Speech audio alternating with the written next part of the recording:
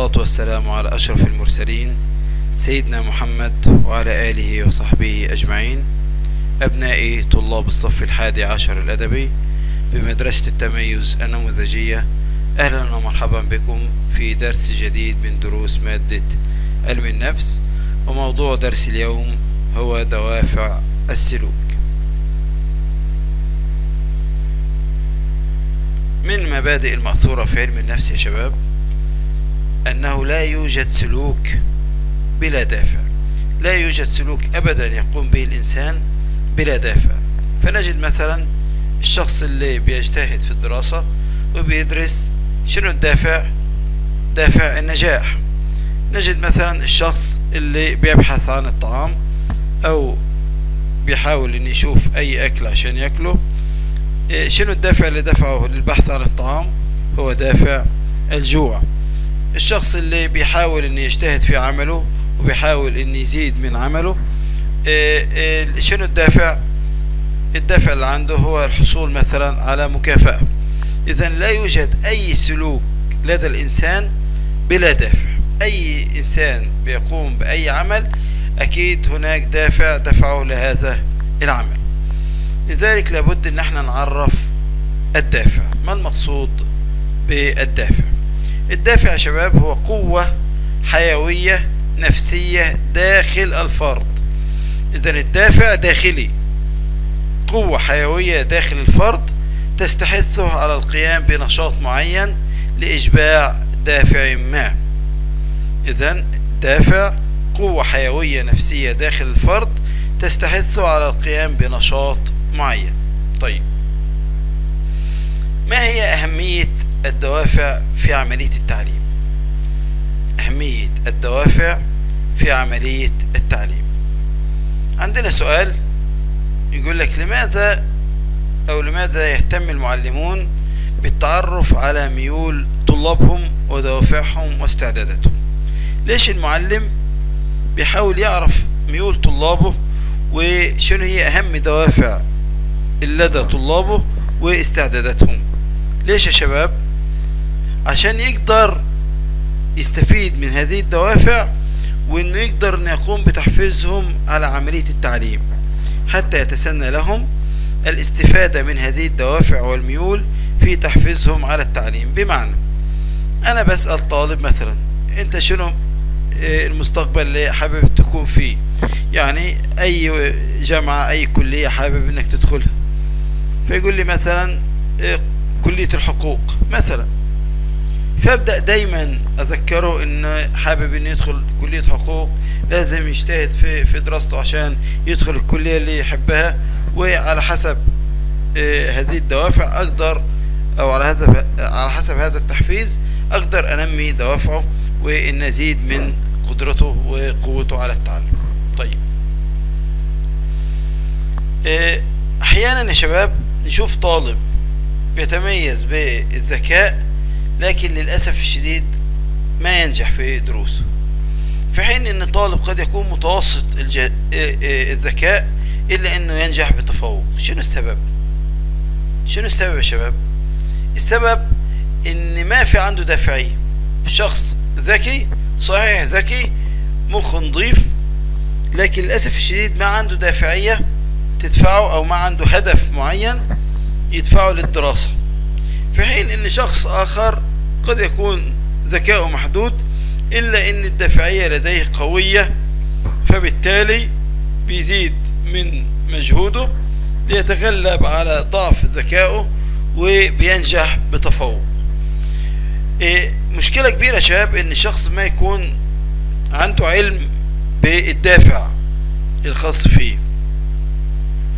يعني معظم الناس تسألهم تقول له أي كلية حابب إنك تدخل؟ يقول لي ما أدري.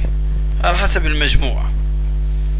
فهني المشكلة لو أنت محدد لنفسك هدف معين هذا الهدف بتبذل أكبر مجهود عشان توصل لهذا الهدف.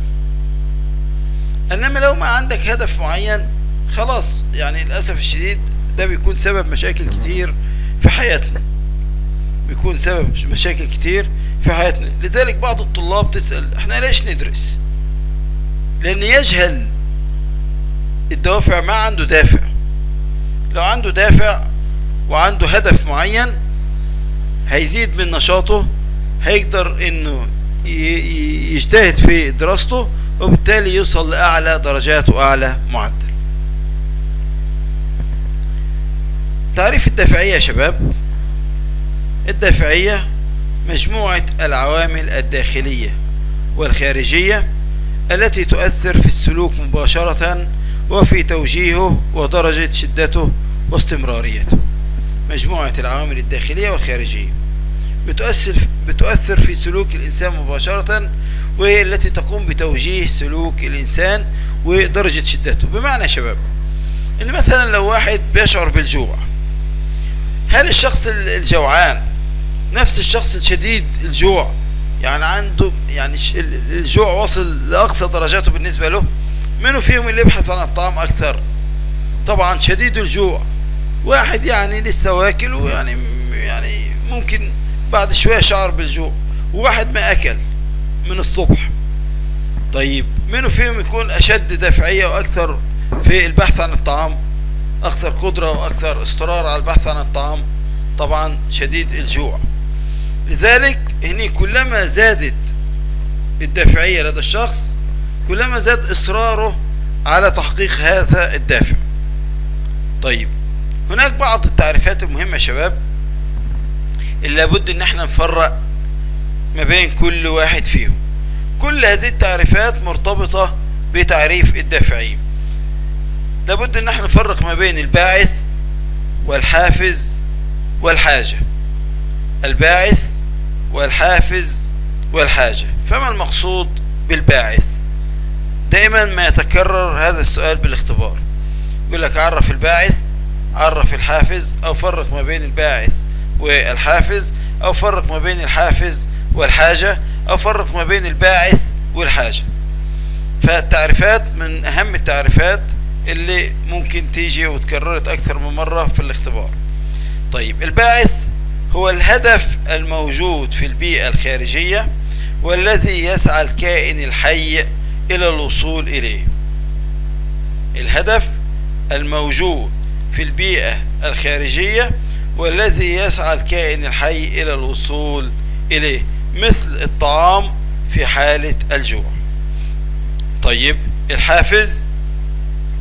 الحافز قوة دافعة تنشط السلوك المهم بهدف إشباع الحاجات ذات الأصول الجسمية والمرتبطة ببقاء الكائن الحي على قيد الحياة.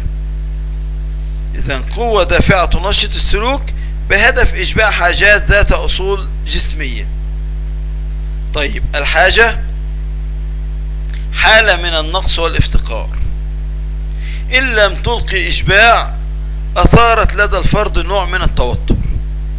أثارت لدى الفرد نوع من التوتر والضيق لا يلبث أن يزول متى ما أشبعت أو قضيت هذه الحاجة. بمعنى أنت مثلا محتاج لقلم عشان تختبر في الاختبار أو تكتب بيه في الاختبار. ما عندك قلم. بدأت تدور حد شباب معاه قلم؟ ما في حد معاه قلم. بدأت تشعر بالتوتر. الوقت قاعد يمر وأنت ما عندك قلم. تحاول تدور يمين يسار ما في قلم مثلا.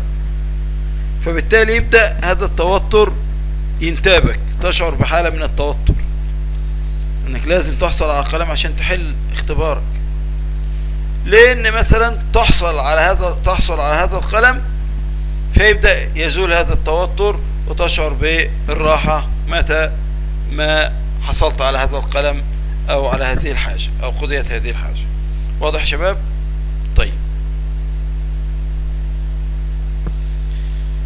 راح ندرس الحين النظريات النظريات المفسرة للدافعية. عندنا ثلاث نظريات راح ندرسهم الحين بشيء من التفصيل. أول شيء هي النظرية السلوكية. كيف يرى أصحاب النظرية السلوكية تفسير في تفسيرهم للدافعية؟ يفسر السلوكيين الدافعية من خلال مفهومي المكافأة والحوافز. بمعنى إن أنت مثلا وهذا في الغالب إحنا دايما بنميل لهذه النظرية أو دايما شغالين على هذه النظرية. نقول لك مثلا أنت لو نجحت في الاختبار راح أجيب لك هدية معينة. هذه. الهدية تعتبر مكافأة لك. فبتزيد من دافعية الشخص عشان يحصل على هذه المكافأة. إيه مثلا المعلم يقول للطالب لو شاركتوا معايا اليوم راح أزيدكم درجات أو أعطيكم درجات. فيبدأ الطالب يركز كل التركيز عشان يحصل على الدرجات. الدرجات هنا مكافأة. اذا السلوكيين بيفسروا الدافعية من خلال مفهومي المكافأة والحوافز. ما معنى المكافأة يا شباب؟ المكافأة كلنا عارفينها طبعا هو شيء تقديم شيء جذاب أو مرغوب فيه كمحصلة لسلوك ما. تقديم شيء جذاب أو مرغوب فيه شيء أنت حبه. يعني واحد مثلا تقول له بالصف أنا راح أعطيك خمس دنانير لو جاوبت على السؤال. يقول يا أستاذ ما بفلوس أبي درجات. اذا هني شنو الشيء المرغوب بالنسبة له؟ الدرجات. فتقديم شيء لابد أن يكون جذاب أو أن الشخص يكون حبه. لو ما هو لو لو شيء ما هو حبه الشخص ما تعتبر مكافأة. إذا المكافأة تقديم شيء جذاب أو مرغوب فيه كمحصلة لسلوك ما. عندما يتم تعزيز سلوك ما باستمرار لدى الطالب فإنه يطور عادات أو نزعاته للعمل. بطرق معينة وفقا لهذا التعزيز. بمعنى إن لو أنا دايما أي طالب يشارك معاي أعطيه درجة. أنت إيش رأيك؟ راح يعني راح تتوقع إن الطالب راح يشارك كل حصة ولا لأ؟ طبعا راح يشارك كل حصة. اذا أنا هنا عززت سلوك معين اللي هو سلوك المشاركة داخل الصف.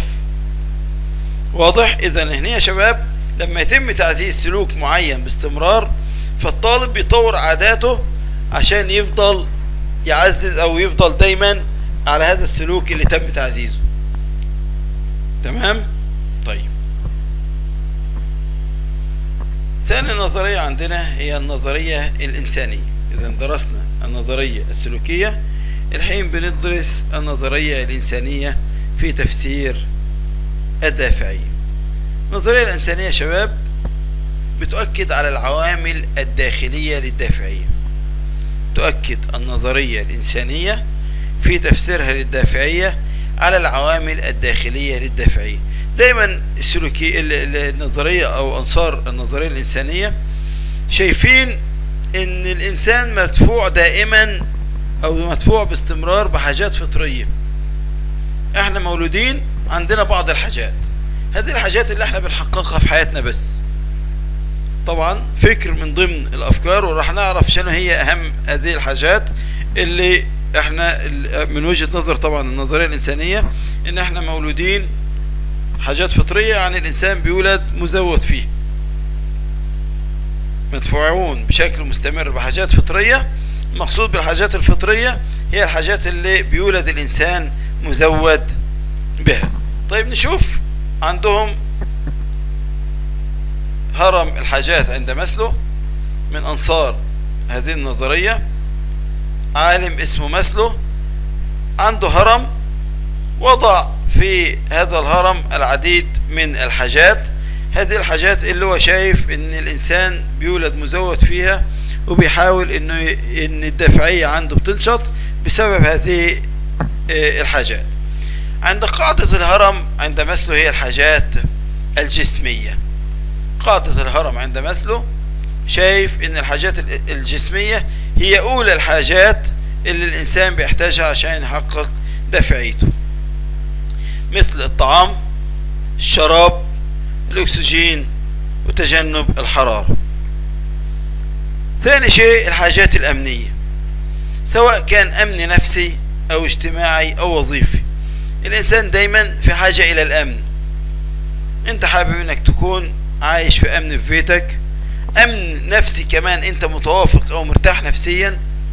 أمن اجتماعي إنك تكون عايش في طمأنينة وسط الناس. والأمن الوظيفي إن ما يحدث لك مشاكل داخل وظيفتك. ثاني نقطة في هرم الحاجات عند مسلو هي الحاجات الأمنية. ثالث نقطة الحاجة إلى الحب والانتماء والتقبل من الآخرين. طبعا يا شباب منه فينا ما يكون آه، حابب إن الناس كلها تحبه. ما يكون حابب انه يكون منتمي لجماعة معينة أو لأسرة معينة أو لأهل معين أو لمجموعة من الأصدقاء. كل الناس عندهم الحاجة إلى الحب والحاجة إلى التقبل من الآخرين. طيب أيضا الحاجة لتقدير الذات. الحاجة لتقدير الذات. الحاجة إلى المعرفة والفهم. الحاجة إلى المعرفة والفهم. طبعا الحاجة المعرفة والفهم دايما الإنسان بيحب أنه يعرف أو يستكشف كل ما هو غريب. الحاجات الجمالية. تلاقي تلاقيك مثلا بالبيت البيت مرتب وشكله جميل فتقول أحط التاتش أحط لمستي اللمسة الجمالية. يقول لك هذه لمسه جمالية. يعني اللمسة الاخيره كلنا عندنا الحاجات الجمالية. رأس الهرم عند مسلو جعلها الحاجة إلى تحقيق الذات. الحاجة إلى تحقيق الذات. كل الناس أو كل شخص حابب إن يحقق ذاته في المجال اللي بيختص فيه أو المجال اللي, مو... اللي هو أو المكان اللي موجود فيه. اذا سبع حاجات عند مسلو الحاجات الجسمية الحاجات الأمنية الحاجة إلى الحب الحاجة إلى تقدير الذات الحاجة إلى المعرفة والفهم الحاجات الجمالية وآخر أو رأس الهرم عند مسلو الحاجة إلى تحقيق الذات. الحاجة إلى تحقيق الذات. آخر نظرية عندنا من ضمن النظريات النظرية المعرفية في تفسير الدافعي. طيب. النظرية المعرفية يا شباب نظرية سهلة وبسيطة. تقول لك إن أفكارنا واعتقاداتنا وغيرها من العمليات العقلية والمعرفية تقوم بدور مهم في دفع السلوك وتوجيهه. بمعنى إن إحنا مثلا مثال إحنا درسنا أو استذكرنا دروسنا في الماضي فلقينا الامتحان أصبح سهل ونجحنا بسهولة في الاختبار. طيب ده راح يكون عندنا يولد عندنا دافع إن إحنا دايما نستذكر دروسنا بطريقة معينة عشان يكون عندنا الاختبارات كلها تتسهل ولا لأ؟ اذا أصبح عندنا خبرة اللي يقول لك عنده خبرة. أصبح عنده خبرة. إذا هني يقصد فيه الخبرة. هني يقصد الخبرة يا شباب. إذا كان استذكار الدروس قد أدى في الماضي إلى النجاح في الامتحانات فإننا سوف نتوقع أن استذكار دروسنا اللي هو في المستقبل يعني سيؤدي إلى النجاح أيضا في الامتحانات. فتلاقي مثلا شخص يقول أنا درست بطريقة معينة وجابت معاي نتيجة. فبالتالي راح أسويها مرة ثانية.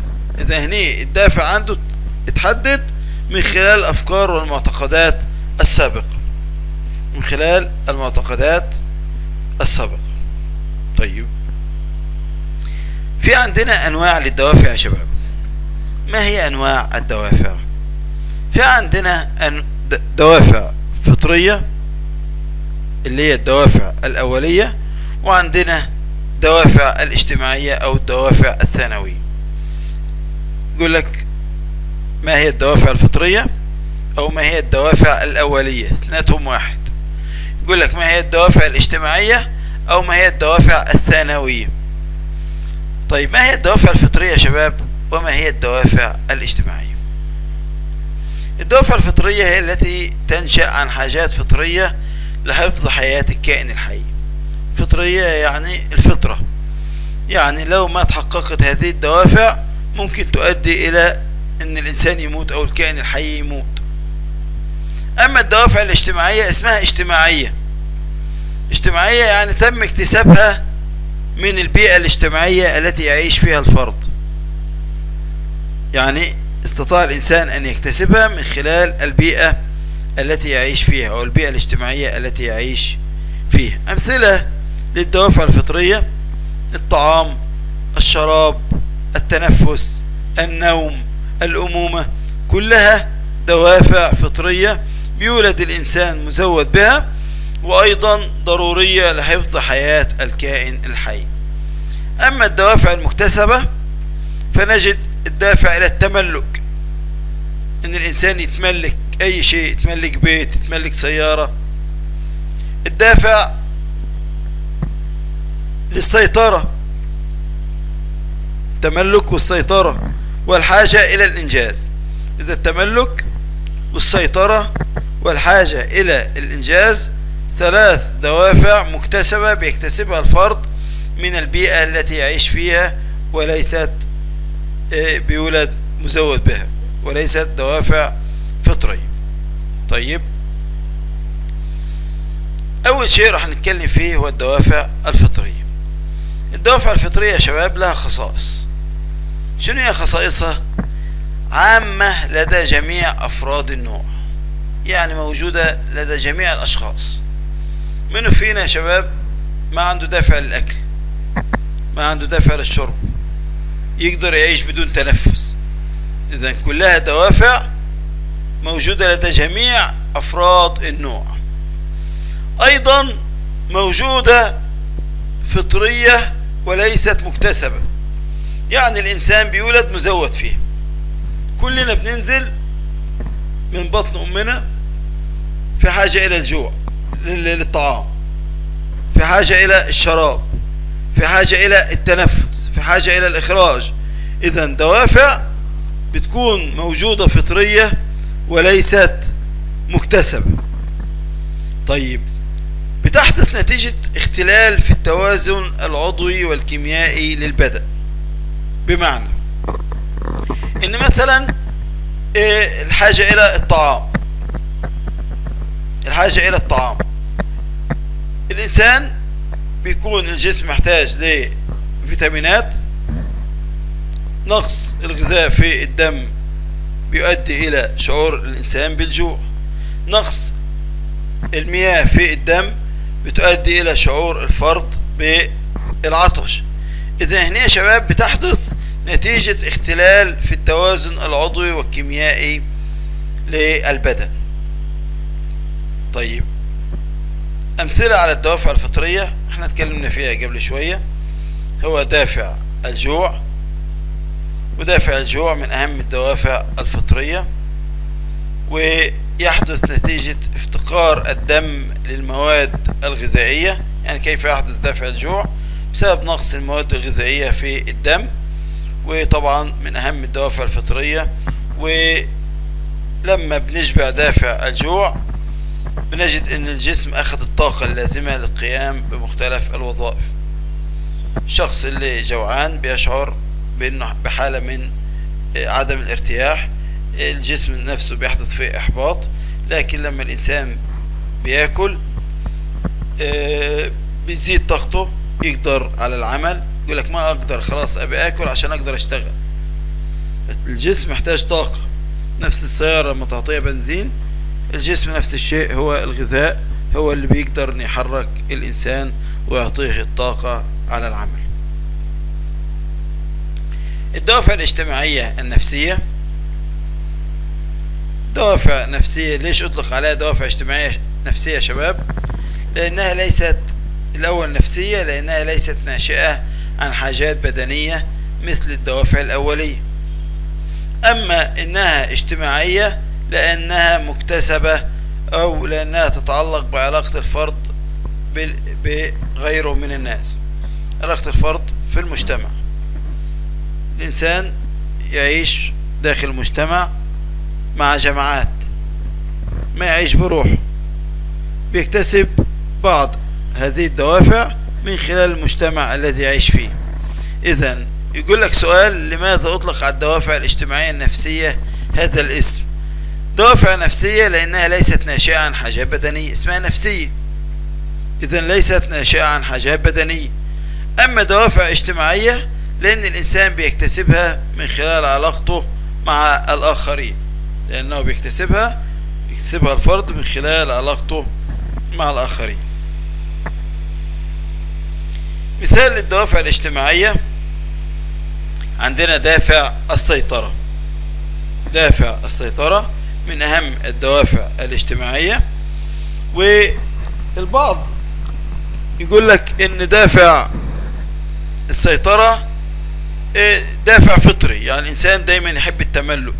ودليلهم على كده إن مثلا طفل صغير لما تاخد منه لعبته تلاقيه صارخ ويحس إن هي ملكه فحابب إنه يسيطر يكون هو المسيطر وياخد كل شيء له سواء تملك أو السيطرة.